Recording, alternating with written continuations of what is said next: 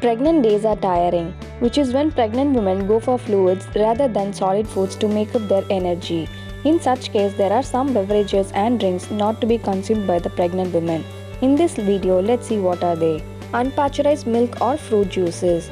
Drinking good amount of milk and having fruit juices is how generally people begin their day with.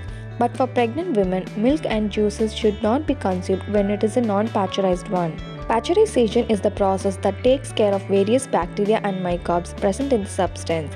If the milk or juice you buy is not pasteurized, the bacteria present inside could be harmful to you, and when they enter your body, they can easily find the way to your unborn baby via the placenta and cause irreversible damage. Wheatgrass we all know the benefits of wheatgrass are tremendous. However, very few people are aware of the presence of various microbes and molds present in wheatgrass. The environment in which wheatgrass is harvested are usually damp and moist, making it paradise for many microbes to thrive. Since wheatgrass juice is made from raw wheatgrass, these germs could easily find their way into the juices, which then become risky for a pregnant woman. Coffee most women are addicted to coffees, which makes it difficult for them not to drink while they are pregnant. It is because the amount of caffeine present inside them.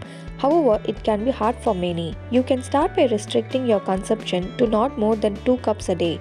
Try to avoid caffeine as much as possible, especially in the first trimester, because the risk of caffeine causing a miscarriage is pretty high around that time. Alcohol This is absolute big no during pregnancy. But still, there are some women who believe that a little consumption will not harm the unborn child. Little you think might be a quite lot for the developing baby. Drinking alcohol causes severe defects in your unborn baby, right from the bodily deformations, hindered brain development, and many others.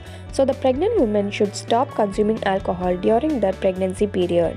Soft drinks. In our modern lifestyle, consumption of various soft drinks has become a regular activity. Be it cola flavored or fruit flavored, consuming them on a festive occasion has become normal nowadays. Those give you an instant energy and refreshment as well, which is why pregnant women choose that instead of having any other drinks. But not only these drinks have caffeine in them, some of those contain chemical quinine. The combination of caffeine and quinine can be highly hazardous for the pregnant women. If you like this video, please give it a thumbs up and subscribe to our channel.